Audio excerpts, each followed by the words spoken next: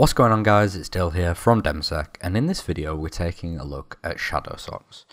So the reason why this is so cool requires a little bit of story time. So not too long ago, one of my friends spent a year working in China, and as a lot of you know, China has the Great Firewall of China, which not only does it censor the internet, it also blocks a lot of protocols which would allow you to bypass it. So for example, OpenVPN traffic is blocked, and like we tried using private internet access, we tried using a whole bunch of different providers, and they were all blocked.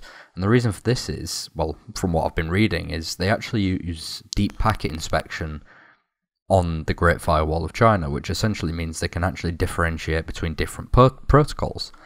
And even if you use OpenVPN in SSL mode, so you set it up to be an SSL VPN, apparently, according to what I've been reading, the actual handshake used is unique and does not exist within regular HTTPS traffic, so it's really easy to identify. So Shadowsocks is what we ended up using, and it's really simple to set up actually.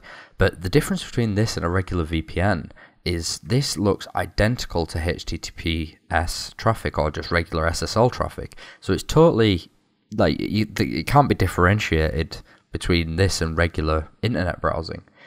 And that being said, it's all encrypted, and you even set an encryption password and your own encryption um, type to use. So it's totally secure.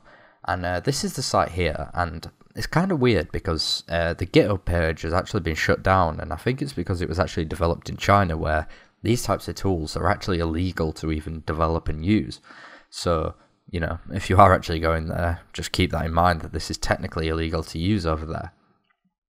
So, we're going to set up a VPS, and we do need a VPS in whatever country you're trying to uh, get back to, essentially. So I'm going to be setting up a DigitalOcean droplet in the UK here for this one. So I'm going to set that up now, and we'll be back once I've put it into it, SSH'd into it, and then I'll show you how easy it is to go ahead and configure this. So I've just gone ahead and created a new droplet here, and I've named it Shadowsocks, and if you see any IP addresses here, it doesn't matter. I'm going to be destroying this once I'm finished with it, so don't worry about any of that. So first we're going to do the standard thing you should always do when you create a new machine, and that's update and upgrade. So I'm doing apt update to update all the repositories. And then I'm going to do apt upgrade to make sure we're running the latest software possible. So now that we've finished upgrading all of our packages, we need to install a couple of packages. So I'm going to do apt install shadowsocks and Screen. So Shadowsocks is the software we're interested in, and uh, I think it said, yeah, we've already got the latest version of Screen, so that's cool.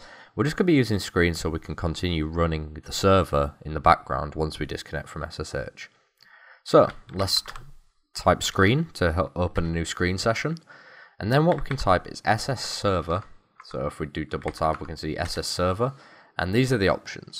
So we need to set the uh, method. So I'm going to go for the default, which is 256 CFB. And the password, which I'm going to say is testing1234.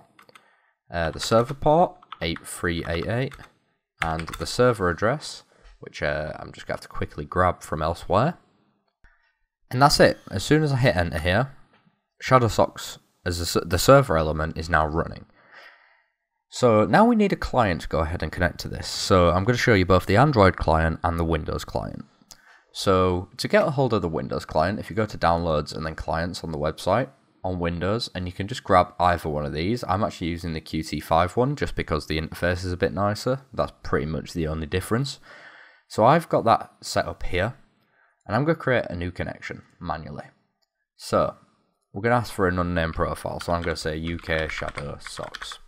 Let's go ask us for the server address, which is the same IP address that which we uh, set here.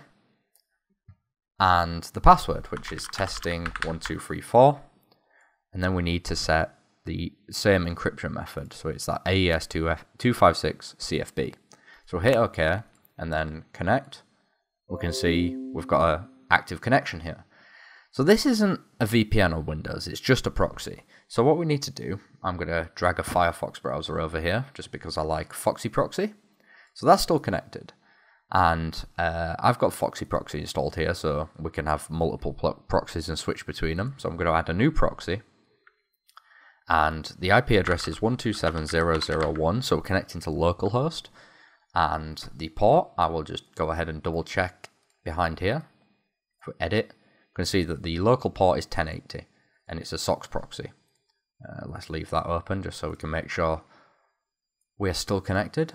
Uh, and it's 1080. Ooh, 1080. And yes, it's a SOCKS proxy, and we don't require authentication. So we can hit OK and close. And now, if we go ahead and activate that, we should be able to go to myip.is, and we can see we've got the same IP address as the server. And this is how simple it is to set up.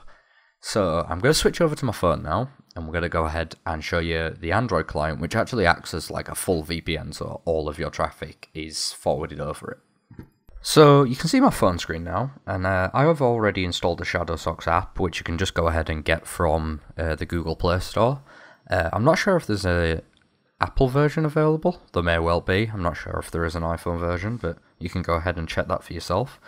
And in the top right, I'm going to go ahead and click uh, manual settings, add manual settings.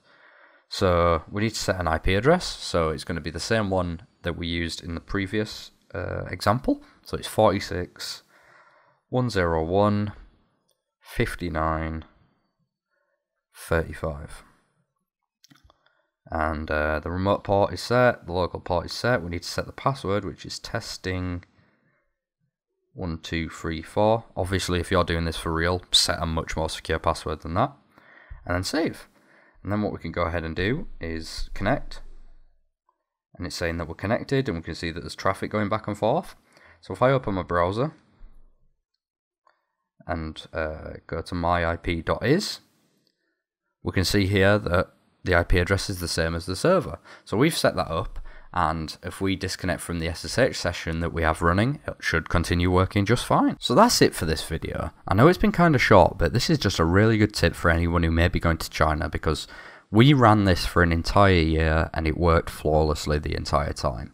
And the performance over Shadowsocks is just amazing.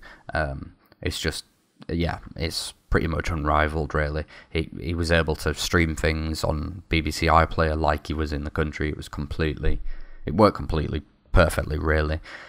So if you have any questions, go ahead and leave a comment down below. Um, any other suggestions for like bypassing Chinese censorship or anything like that? I find it really interesting, like the whole concept of the way they do it. I find really interesting. So anyone who has any extra information, either leave that in a comment or come over to the Discord and we can have a chat about it. And uh, yeah, that's about it. So I'll see you next time. Bye bye.